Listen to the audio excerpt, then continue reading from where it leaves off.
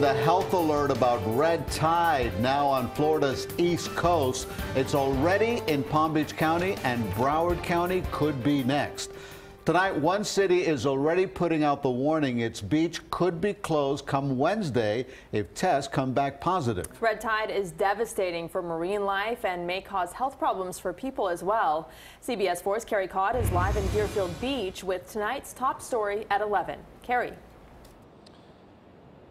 That's right. The city of Deerfield Beach put out this tweet earlier today saying that the Florida Fish and Wildlife Conservation Commission is testing the waters here for possible red tide. They do expect the results back on Wednesday.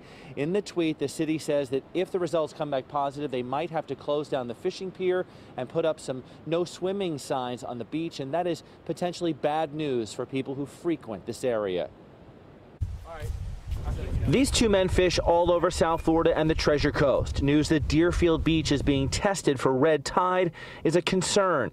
It's not confirmed, and the city hopes to have results by midweek, but Alan Esquidge knows it could have wide ranging implications. It's going to hurt the people fishing here, you know, the fishing industry, the beaches, restaurants on the beach. That's what we've seen on the west coast of Florida in the Gulf of Mexico, where red tide raged for months.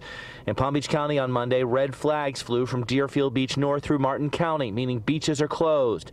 Workers wore masks after Palm Beach County officials confirmed that the organism that causes red tide was found in the water. I read the sign that said there was bacteria in the water. It was kind of scary. Yeah, it was actually kind of scary. There's something going on in the water. Over the weekend, people began complaining of burning eyes and throats on some Palm Beach County beaches. Water samples were taken and sent to a fish and wildlife lab for testing and found to have low to medium levels of the algae. Experts say it's uncommon on the East Coast. Very, very rare on the East Coast of Florida.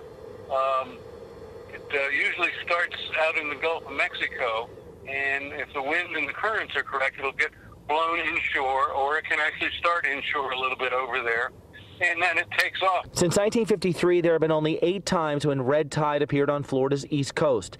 Experts say conditions here are much different than the Gulf of Mexico, so the effects may not be as severe.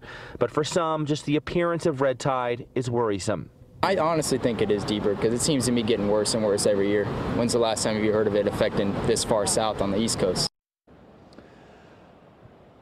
So again, here on Deerfield Beach, nothing is confirmed. Tests were done. So they are awaiting results on whether there is indeed red tide in the water here. In Palm Beach County, officials there said earlier today that they may reopen some beaches on Wednesday because they've only found low to medium concentrations of red tide in that county. Live in Deerfield Beach, Carrie Codd, CBS 4 News Tonight.